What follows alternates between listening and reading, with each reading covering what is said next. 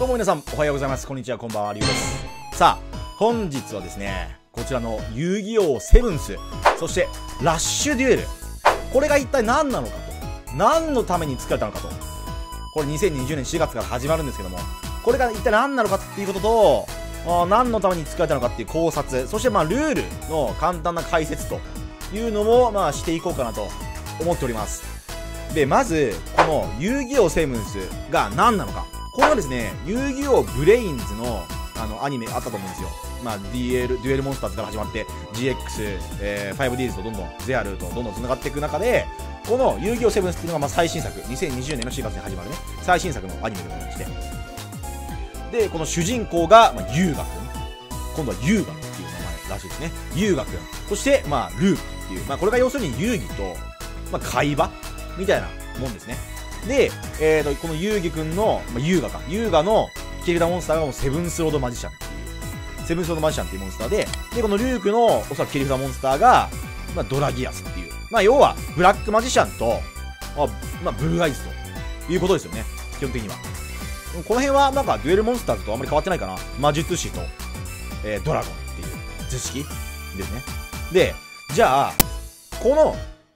遊戯王セブンスではどういうアニメになるのかっていうと、このラッシュデュエルっていうね、ラッシュデュエルっていう、まあ、ルール、新しいルールで展開されるんですよ。今まで遊戯王って、あの OCG のルールに準拠してずっと進んできたと思うんですけども、この遊戯王セブンスは完全にラッシュデュエルっていう新しいルールで、えー、遊戯王のアニメが進みます。で、まずですね、これがなんでなのかっていうことについて、まあ考察、簡単にね、していこうかな思うんですけど、おそらくですね、新規参入者があまりにもいないっていう問題があるんだと思います。遊戯王 OCG にね。デュエルリンクスもそうですけど。あの、OCG リンクスはもうどうしたって今の現状のパイを取り合っているばっかりで、新しい新規参入者がもう全然入ってこないと。なんでか？それなんでか？難しいんですよ、ルールが。遊戯王のルールが難しすぎる。と、特に、やっぱリンクモンスターが追加されて、よりぐっと難しくなったと同時に、シンクロエクシージの展開力が落ちて、えー、ユーザーが離れたと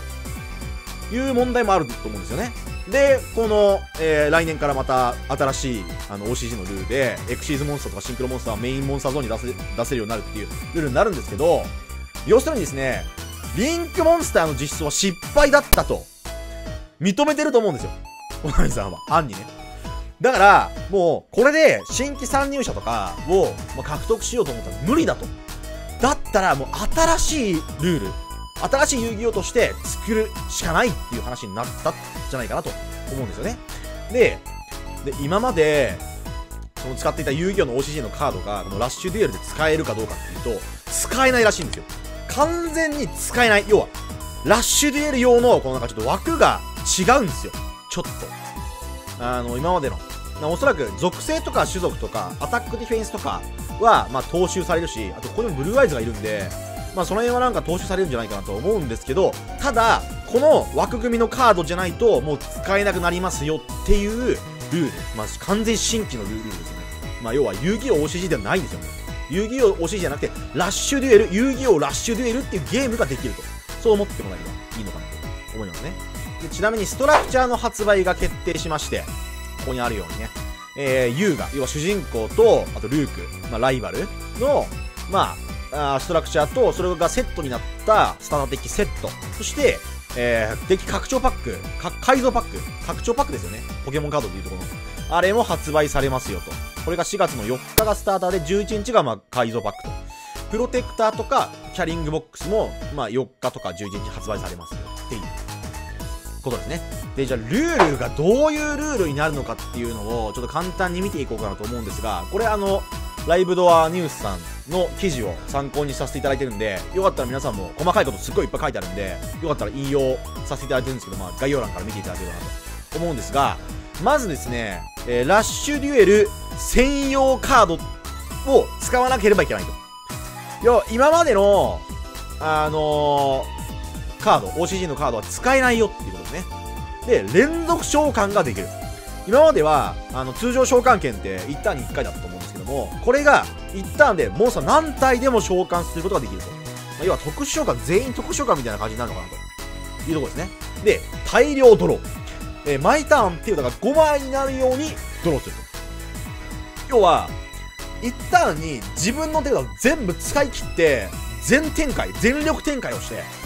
で、次の自分のターンの開始時にまた5枚になるようにバーってドローして、また大量展開して、みたいなことを繰り返して、お互いに大量展開をやり合っていくね。だからこそ、もう大逆転劇とか、すごい熱い展開になるんじゃないかなと予想をしてます。で、主人公とライバルが使うモンスターのカードはこんな感じですね。こういうデザインになると。だから今までの遊戯王 OCG で使っていたあの枠組みのカードは、完全に使わないと。この下にラッシュデュエルって書いてあるんですが、このラッシュデュエルって書いてあるこのカードじゃないと使えないよと。で、レベルとかもここに表示されるようになってたりとか、まあ、アタックディフェンスとか、まあ、効果はここに書いてあると思うんで、そんなに、なんだろうな、今までの遊戯王と全然違うかっていうとそうではないけど、まあ、デザイン的には完全新しいデザインになるということですね。で、フィールド。フィールドは、これ多分デュエルディスクですよね、いわゆる。デュエルディスク。まあ、セブンスなんで7ってなってるんですけど、この、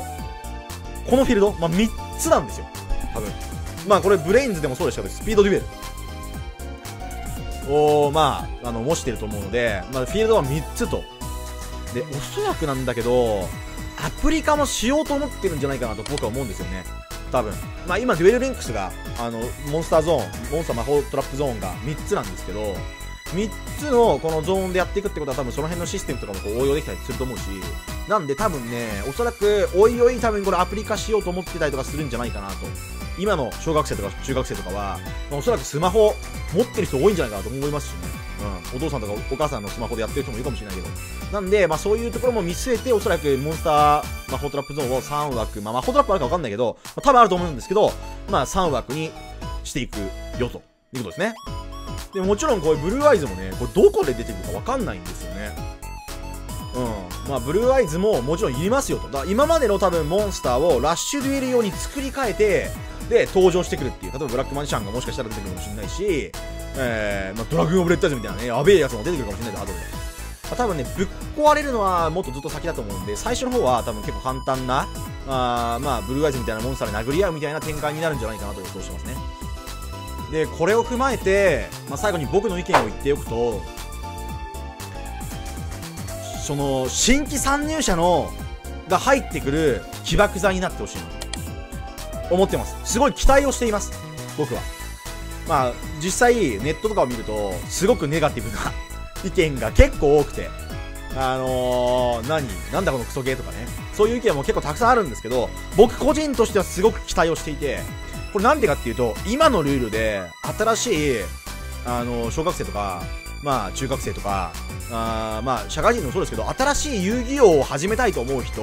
が、OCG のルールでは、入ってこれないと思うんですよね。あまりにも難しくて。だから、このラッシュデュエルっていう、このものにすごく期待をしていて、まあ僕ももちろんやりますよ。もちろんやろうと思ってるけど、